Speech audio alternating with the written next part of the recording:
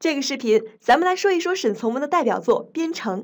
湘西边境有一个叫茶洞的小山城，城边一条溪水清澈见底，一条渡船运送着打算进城的人。管船的是位老人，他的孙女便是故事的主人公翠翠。翠翠十分美丽，吸引了天宝、罗宋这对兄弟的爱慕。俩兄弟本相约唱歌向翠翠求婚。不过，哥哥天宝发现了翠翠对罗宋的情谊，选择了成全弟弟，独自外出闯滩，不幸遇到意外死亡了。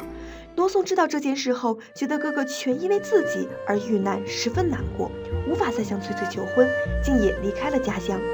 罗宋的出走让翠翠非常难过。不凑巧的是，爷爷也在这个时候去世了。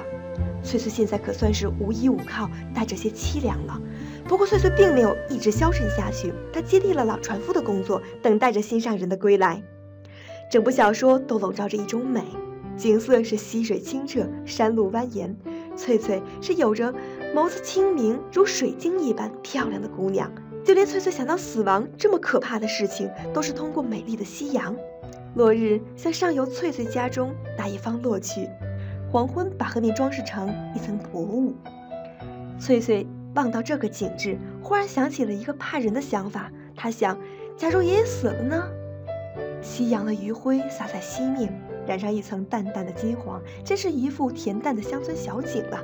这个时候，即使提到死亡这件可怕的事情，也因这美景的烘托与夕阳的象征少了一份阴郁，边城便也充满了象征性。小说有着景美、人美，还有一份语言营造的恬淡的美。然而，更美的是作品体现出来边城人淳朴的人性美。比如小说刚一开始，沈从文提到山城渡口有人渡船时，爷爷总是不忘提醒旅客慢点儿，慢点儿。最有意思的是，这船是公家的，旅客可以免费乘坐。可是旅客们看到驾船劳作的翠翠爷爷，总是心中不安，竟抓了一把钱掷到船板上。而爷爷呢，必定一一拾起，依然塞到那人手心里去。这钱爷爷说什么也不要，实心实意地塞回给游客，可不是假装推脱。边城里船夫和旅客赶着给钱又赶着不要钱的这一幕，我们现在读起来真是倍感温暖和向往了。你看现在的公交车上，总有人一逮着机会就不刷卡不买票，这和边城里的人真是天壤之别啊！《边城》这部小说满满的浸透着沈从文对家乡、对人性美的赞美呢。《边城》的美就学习到这儿了，赶快去做题抢金币吧！